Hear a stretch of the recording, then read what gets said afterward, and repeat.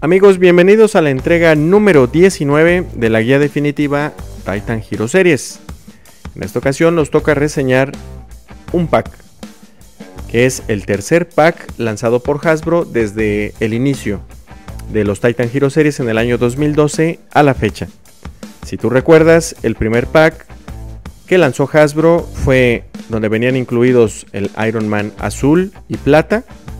El segundo fue el pack donde venía incluida la araña blindada, el Spider-Man blindado, que es completamente gris.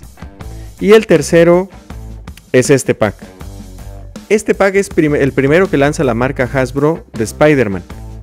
Y como lo puedes ver aquí, viene incluido el traje clásico azul y rojo de Spider-Man, junto con los tres villanos lanzados a la fecha, a esa fecha, por la marca.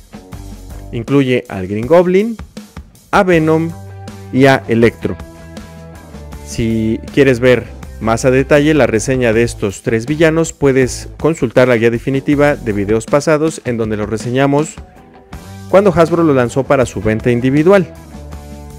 ¿Qué te parece este pack? Que forma parte de la saga Ultimate Spider-Man. Déjanos tus comentarios, no olvides suscribirte y darle like al video. Gracias por mirar.